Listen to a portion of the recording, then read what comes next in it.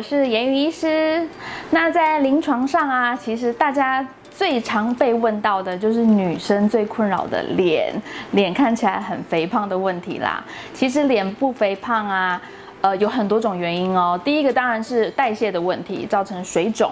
那第二个呢，就是先不管是先天或是后天，因为饮食因素造成的脂肪堆积，有些其实是真正的肥肉。那有一些呢，呃，其实是那种。呃，过度的使用的咀嚼肌，就是比如说，不管是因为焦虑因素啊，或是吃饭习惯用某一边咀嚼，那导致于它两侧的这个呃，我们下颚这边这个角过咀嚼肌过度的肥大，所以造成脸会看起来比较方，然后比较大。今天就来教大家如何运用中医穴位，然后然后把脸部的暗沉，不管是水肿还是肥胖，通通击退。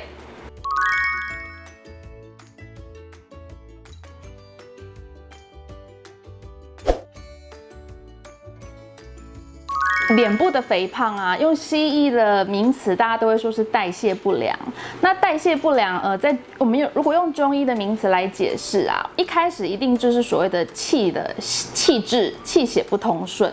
那这个气血不通顺呢，就是代表说我们人的经络在走的时候啊，它产生了一个阻阻滞嘛，它没有该该往前前行的时候，它遇到了阻滞，这个时候就会有一些湿湿气。或者是痰湿的的停留，它过度的停留，一些废物该被呃往往前往前走，往前，然后被带走，然后它却没有，它却停留在这里，然后堆积在这里，有很多应该被排出去的呃痰湿被堆积在了我们的脸部，久了就形成了所谓的水肿，那在更久了就形成了痰湿，那这些东西。呃，用西医的语言就是水肿或是脂肪。那如果说在更久了，呃，气血不通顺，一开始只是气滞，时间久了会变成是血瘀。瘀的话呢，它就会有颜色、色泽的不一样。所以如果说是脸上的斑点，或者像是黑眼圈，像这样子程度的呃严重性的话，我们就不只是。呃，代谢不良了，我们就会说它已经到了瘀的程度了。再来就是讲说，为什么呃一同样的一个人，他会比较容易有这样子的呃水分代谢不良的问题呢？他为什么比较容易会有湿气堆积的问题呢？其实啊，因为现代的人啊，大部分都喜欢喝冰饮，然后很多人啊，他们喜欢就是节食，然后就吃轻食嘛，生菜沙拉，所以大家尤其是现代人都。脾胃其实大部分都是寒的，都是虚寒的。那我们大家知道说，其实脾胃啊，保持温暖，保持它的运化良好是非常重要的哦。因为脾胃是我们最主要排湿气的器官，所以如果我们脾胃的运化不良好，它连每天固定要排的湿气都没有排，都没有帮你正常排出去，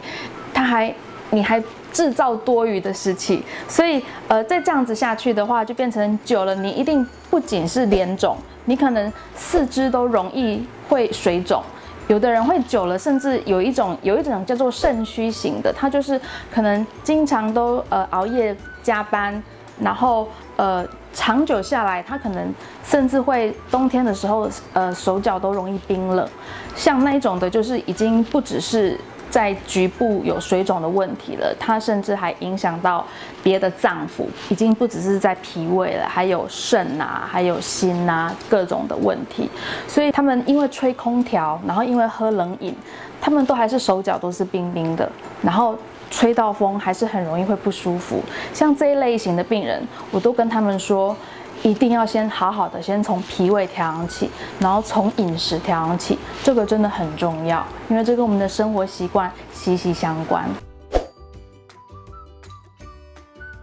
其实我这里要特别强调一下哈，在临床上我也常常都跟病人说啊，就是不要自己当自己的医生，好，不管你想要透透过什么食疗啊，一定要先运呃询问过你自己。自己的那个中医师，呃，因为你不知道你的体质的偏性嘛，所以你一定要询问过，呃，你自己平常在看的中医师，你适不适合吃，然后不要只是网络上看到人家推荐什么，或是就自己去吃。那那像我在这边推荐呢，我也会推荐比较平和的食物，就是偏性不会太大。那你还是要询问过你的中医师，然后再记得去吃哦。那比如说，如果是消水肿的话呢，呃，像一些红豆啊、薏仁啊这些比较常见的，其实是可以的。那我会建议，其实女生啊，女生养阴其实很重要。一些胶质比较多的，像呃冰糖银耳莲子汤啊，在这种这种这种天气，你如果偶尔来一碗，哎，其实当做甜汤是很好的。我其实最希望病人吃，记得要吃原形食物。哦，像我就比较推荐你，不如喝呃蜂蜜水，或者是说你喝乌梅汁，这些是天然的东西。记得吃东西的时候多想一下，就是择食，我觉得择食很重要，就是呃尽量选加工就比较比较少的，那尽量尽量接近于原型食物的，这样子会比较好。呃，其实啊，像我自己平常的保养程序，我会习惯就是从攒竹，攒竹在我们眉头这边，然后按到太阳，阳白，然后这个是阳白，然后再按到太阳，从这边按到这边，然后再来呢，其实按我我直接示范给你们看，就是我会一边就是看电视啊，然后就是按就是从这边，然后按到这边，这样子按。不管按几次其实都可以啦，然后按完你也可以往上按，然后用手按也可以哦。你就是用手这样按，然后往上推，其实当然是用滚轮比较好推，有一点重没有关系，让它就是有去压到你的筋膜，它就会有一点呃，帮你把筋膜提拉的感觉。那这样就是可以减少抬头纹。然后还可以减少我们的皱眉纹。那第二个呢，就是呃，从我们的迎香，迎香在鼻子的旁边，然后再来这里是全髎穴，然后按到我们的巨髎穴。那从迎香按到全髎，按到巨髎穴呢，这样子按，第一个可以维持我们的苹果肌的烹饪，然后还可以预防，也可以减少我们法令纹的生成。那它这它的按法呢，其实就是这样子，从这边这样子按。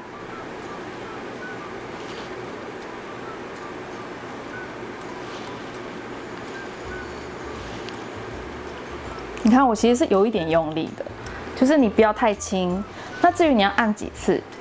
其实都可以啦。最后呢，一定要做一下，就是颈部的，就是这边这边颈部下面的淋巴疏通。因为其实啊，很多人脸的下垂，是因为啊，我们颈部的扩颈肌张力太强，所以它会把我们的这个这个脸啊往下扯，所以大家都会忽略这一点。所以其实啊，这边。这边的淋巴疏通是非常重要的。其实美颜针啊，第一个我们要了解它的针具的特别性。它它之所以特别，就是它跟我们一般针灸用在身体上的体针啊不一样，它的针特别的细，细到像头发一样细，所以它针在脸上的时候，那个细致度，它所以痛感是。非常非常小的，当然每个人对痛觉的感觉很主观，有的人还是会觉得哦，就是哦，就是针啊，就是被针，他还是会有点怕痛，这是第一个。再来就是它的独特性，因为它可以刺激经络。第一，我们脸有非常多的经络，它可以刺激穴位。再来，它还可以去调整我们脸部各个不一样的肌肉的张力。还有，它可以去深深入到肌肉层，再来它可以去调整筋膜层。那透过刺激经经络呢，它还可以去我们刺激我们的胶原蛋白增生。所以它可以用不同层的手法，施针的角度，然后不同的深浅，然后这样去创造出让你的脸有重塑的效果。所以可以让。比如说像苹果肌，我们可以让它去重新烹饪起来。那像我们这个下颚线，因为人老化，